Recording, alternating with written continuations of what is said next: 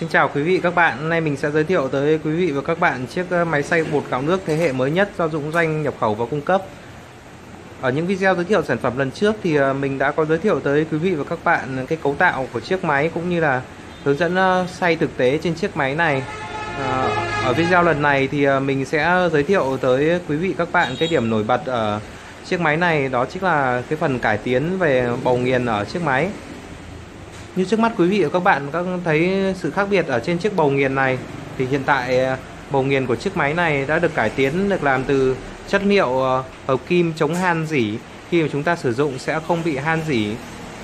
Rất là sạch sẽ và sáng bóng. Đây thì chính là phần bầu nghiền. Ở những à, chiếc máy xay kiểu thế hệ cũ thì chiếc bầu nghiền này được làm từ chất liệu bằng gang. Khi mà xay trong nước thì sẽ rất dễ là hoen dỉ phát sinh ra tạp chất ờ, ờ, gây ảnh hưởng đến sức khỏe trong quá trình sử dụng. Chiếc ờ, bầu nghiền lần này thì được làm bằng hợp kim nhôm, rất là sạch sẽ và sáng bóng. Đây là hình ảnh phía bên trong bầu nghiền. Ở bên trong bầu nghiền này thì thì các cái phần ở bên trong cũng được làm rất là sạch và nhẵn giúp chúng ta dễ dàng vệ sinh hơn.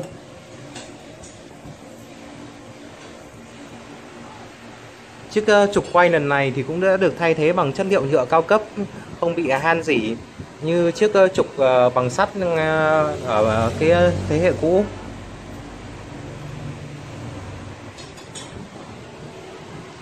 Khi mà vệ sinh thì chúng ta cũng rất là dễ dàng vệ sinh khi mà sử dụng chúng ta vệ sinh hoặc là lau chùi rất là sạch sẽ.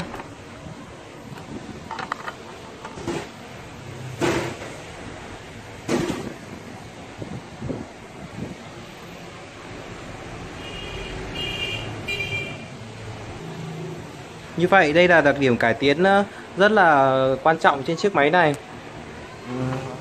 Ở những video giới thiệu sản phẩm lần trước thì mình đã có nói về, rất là chi tiết về chiếc máy này. Thì ờ, với những bạn nếu mà chưa biết ờ, về chiếc máy này thì ở video này thì mình có thể mình giới thiệu qua. Thì đây là bộ phận phần điều chỉnh độ to nhỏ khi mà chúng ta xay gạo. Chiếc máy bây giờ nó tích hợp sẵn lên cái núm bạn này. Thì các bạn khi mà xay gạo nước ờ, tùy theo cái đồ bột gạo mà chúng ta để xay ở các mức to nhỏ khác nhau. À, ví dụ như là chúng ta vặn ngược theo chiều kim đồng hồ thì hai viên đá sẽ tiếp xúc vào với nhau. Thì khi đó thì ờ, các bạn xay gạo sẽ ra mịn hơn.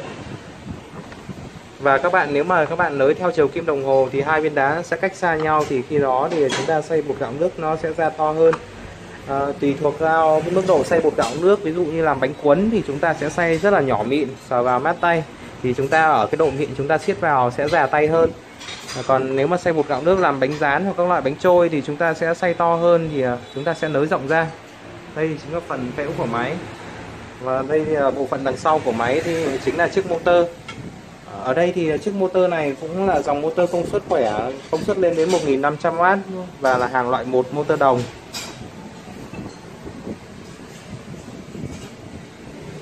Đây như quý vị các bạn đã thấy cái bên dưới này thì chính là các cái chân đỡ của máy. Được thiết kế rất là gọn gàng.